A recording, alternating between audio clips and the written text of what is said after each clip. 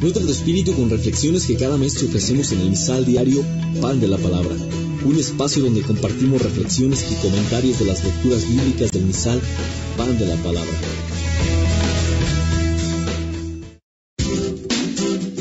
Sean bienvenidos a este su espacio, donde encontrarán los comentarios bíblicos que hoy el misal Pan de la Palabra trae para ti. Intenciones para el mes de julio 2013. Para que la Jornada Mundial de la Juventud, que se desarrolla en Brasil, aliente a todos los jóvenes cristianos a hacerse discípulos y misioneros del Evangelio. Intención misional. Para que en todo el continente asiático se abran las puertas de los mensajeros del Evangelio.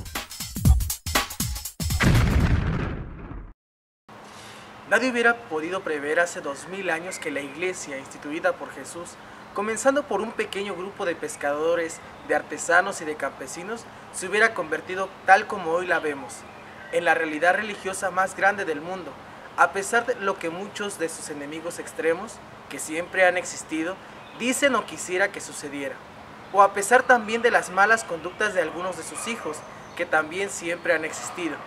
Este desarrollo no hubiera sido posible sin el empleo misionero de sus miembros. El proyecto viene de Dios, Él es el dueño de la cosecha. Estamos por llegar al término de las profecías de la consolación, por eso las promesas y las imágenes se repiten con acentos nuevos. Jerusalén es vista como una madre solícita y llena de felicidad. Es presentada a todos sus hijos a todos los que han llorado por ella en la desgracia y continúan amándola, ahora en su triunfo mesiánico. Jerusalén ha sido consolada.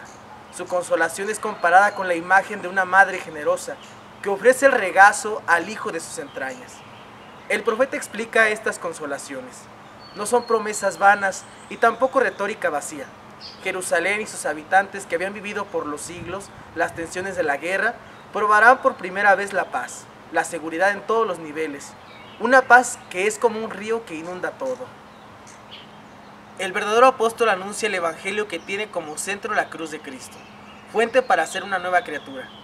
A los Gálatas que se habían dejado engatusar por una religiosidad tradicionalista, Pablo propone el anuncio de la cruz, fuente única de paz y de verdadera libertad.